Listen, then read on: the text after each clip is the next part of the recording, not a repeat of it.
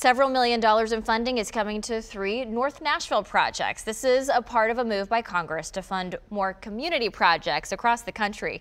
And Congressman Jim Cooper secured almost $5 million for us to use locally. News Channel 5's Amelia Young joins us live downtown with the details on the specific projects, Amelia, and where that money is going. Good morning.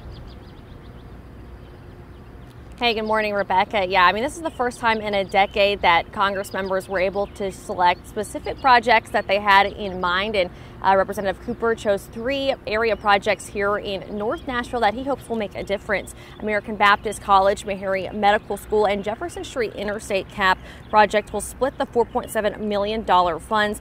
American Baptist College will use the funds to restore buildings where notable civil rights leaders received their education and also create a complimentary civil rights walking tour of the campus to educate the public about the college's significance and role in the civil rights story.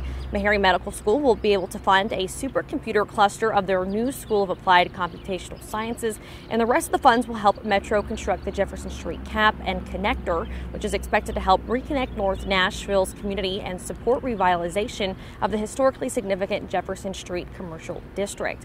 There's been some recent pushback, though, from the community not in support of that project. Neighbors are concerned they wouldn't be able to afford to live in that area after the project is complete. The spending package must first pass through the Senate before it's on the president's desk to sign into law, though.